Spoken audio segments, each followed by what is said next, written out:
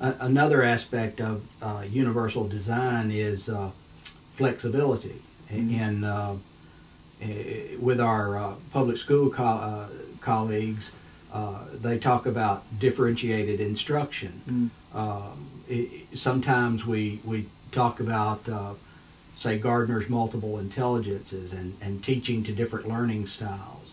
How, how have you incorporated flexibility in, into your Mm. teaching?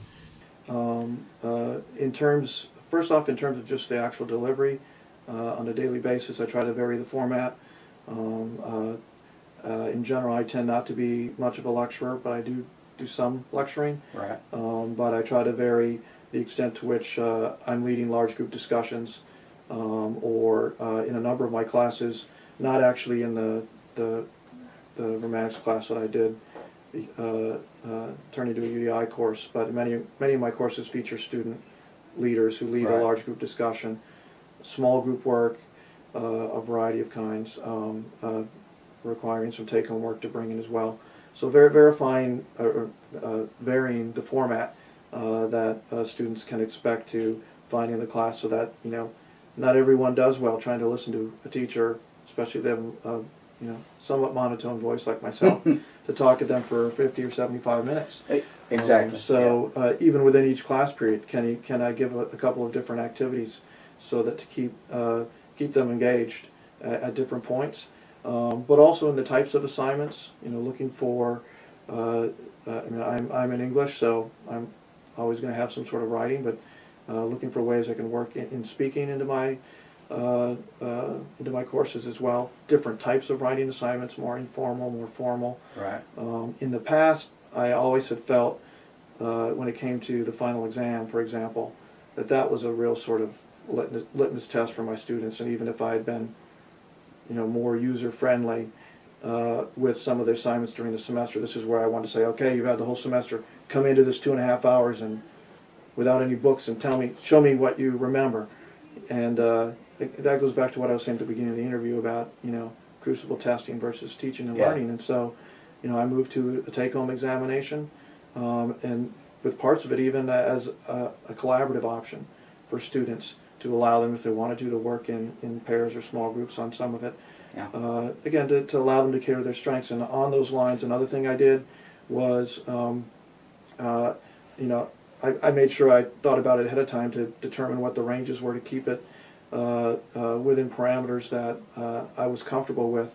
But I allowed students to do some adjustment where the, the weighting of the, the different assignments and how much they would count toward their final grade were so that if there was a student who knew, for example, that they tend not to do well um, in uh, formal essays but really thrive in, an in-class presentation, they could fiddle with some of those percentages.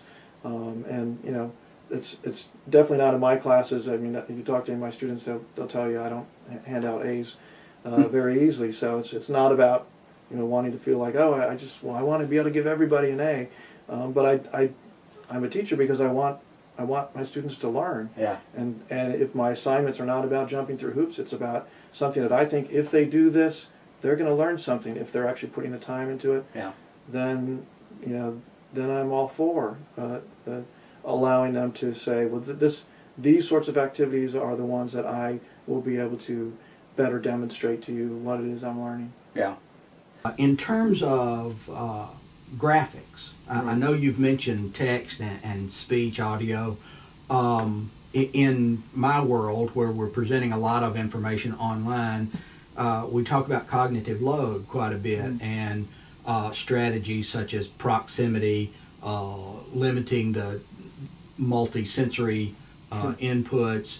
Uh, have, have any of those items, uh, have you con- thought about any of those? Yeah. Uh, I'm hoping to explore a lot more of that in the spring.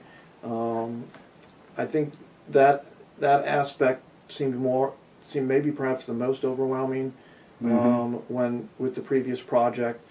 Um, uh, in part because uh, you know I'm I am uh, I've, I've actually amazed myself with how how many of my courses uh, have incorporated learning technologies and where it actually becomes part of the centerpiece of the course. Right.